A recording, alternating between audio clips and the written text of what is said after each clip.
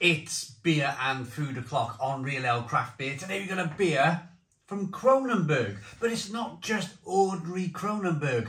Robert went on holiday to France and he brought me back and sent me a bottle of 1664 gold.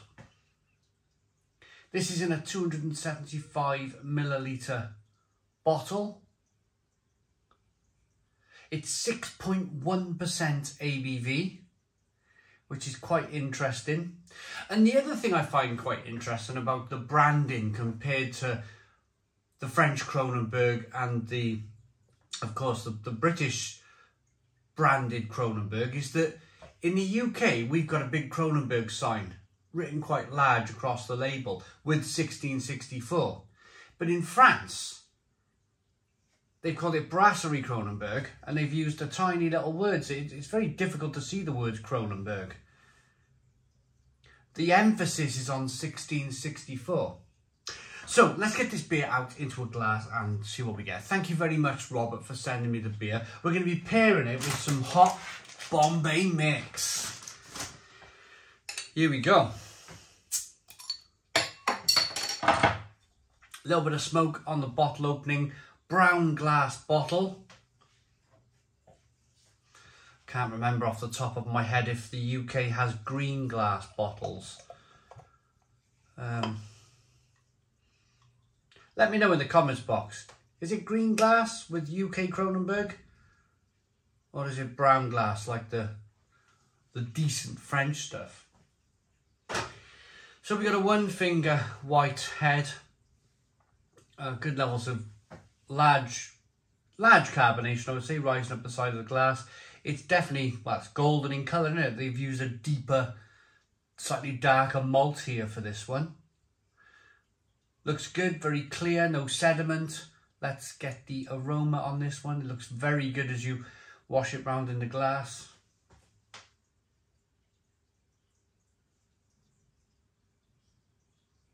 Yeah, this is this is to a level of think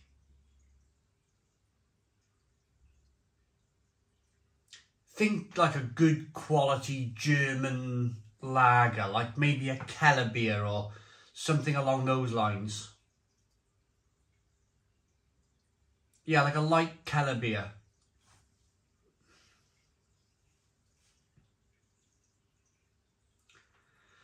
Rich, malty, biscuity, bready.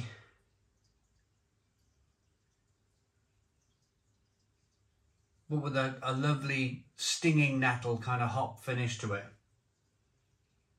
Smells fantastic. Let's dive in. Cheers, everybody.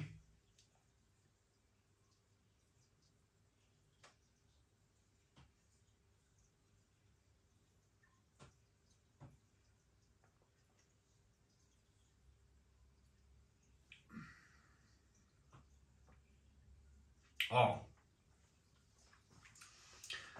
Stone the Crows. Stone the Crows, that's the nicest Kronenbourg I've ever put to my lips. Wow. Absolutely wow. Terrific stuff.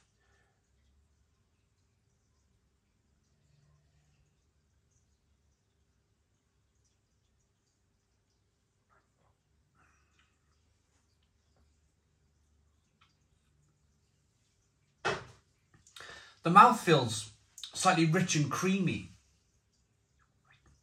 The malt base is just wonderful, biscuity, bready, nutty almost. And then it goes over into the hops on the back end. So you got your sweetness from, from the malt here. And then you got that fantastic, fantastic kind of nice bitterness on the back end. It just goes to show, doesn't it? I mean, when these companies want to brew great beer, they can show their hand they can show their hand. If you think of UK breweries, I've had some terrific Generation Ale from Shepherd Neame come in a timber box. Absolutely fantastic. Shepherd Neame can brew some incredible beer when they want to. Greene King can brew incredible beer when they want to. I've slated UK Kronenbourg. This is the reason why I'm mentioning all of this. I've, I've absolutely slated UK Kronenbourg, saying, you know, you've seen the video. um, UK Kronenbourg, UK brewed Kronenbourg has been ruined. Has been ruined. I went as far as to say that. It was awful, kind of terrible drinking lager. But you you try you start drinking some of the good stuff from these breweries and it's really it's really really good. Really good. I don't i can't understand. Maybe maybe there's just maybe there's just a certain amount of, uh, people out there that really don't care what they're drinking. They really kind of like you know they, they they're, they're happy to drink uk kronenbourg but it, it just doesn't taste right. Doesn't taste right. But you know, you still see people picking it up and putting it in, in their trolley. I, baffles me, baffles me. I'd love to those people who drink the UK Kronenbourg that's just terrible. I'd love to put the glass of this in front of them and say, say this Kronen, taste this Kronenbourg Gold from France. Delightful. Delightful beer, it really is. Right. Uh, this CoFresh hot Bombay mix was it was about a pound actually.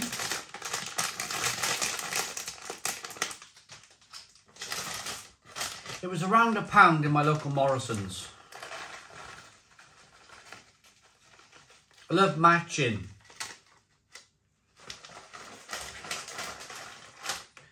matching different foods these days with my beer.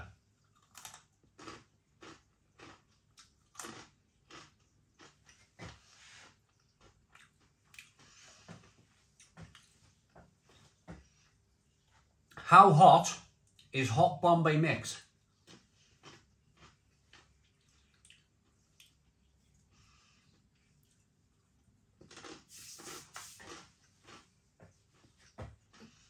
Mmm.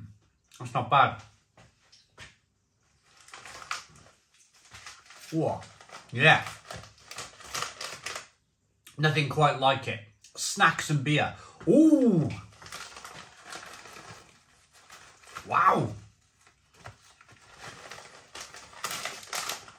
Bombay mix is more, it used to be like, you'd have more peanuts and stuff years ago. This is much more, well it says here, it's 66% noodles. I want more peas. I've had one pea. No peanuts. It's, it's mainly noodles. I don't mind it. It's hot.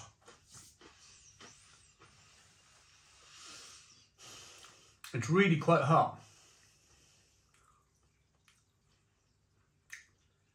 Mmm. Wow. I wasn't expecting it to be that hot, actually.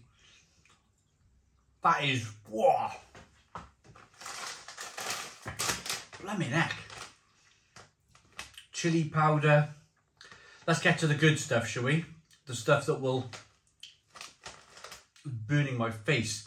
Uh, chili blend, chili cumin garlic powder.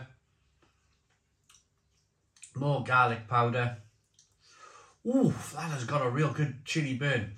Natural chili flavourings. And of course, paprika. Paprika being the stuff that colours it. That's nice, that. For about a quid, Morrison's. Yeah, that's alright. You go down the crisp aisle, in, I'm not just going to pick on Morrison's here, but go in the crisp aisle in any supermarket and you'll find nothing for less than £1.50 a bag now. You might find their own brand stuff, but I tell you what, you won't for 200 grams. There's 200 grams of food here. If you go down the crisp aisle in the supermarket, you'll find nothing over 150 grams and it'll cost you probably the best part of £1.50, £2 a bag these days. 200 grams of Bombay mix for about a quid. You've got to go down the world food aisle to find it. But I'm happy with that. Happy as laddie with that. So I'm, I might as well, because I've eaten some of the Bombay mix, I might as well rate that. Um, hot Bombay mix. Um, yeah, it's pretty good. It's pretty good. I think I, I think I need a couple more beers before I'm ready to like eat half the bag. You know, you've got to be a couple of beers in, haven't you, to eat half a bag of Bombay mix. Um, but I, I like it enough to give it an 8 out of 10. 8 out of 10 for the hot Bombay mix. Lovely spice to it, lovely heat to the on the back of the throat. However, this 4X Gold, 4X Gold, 1664, this 1664 Gold, why am I calling it 4X Gold? This 1664 Gold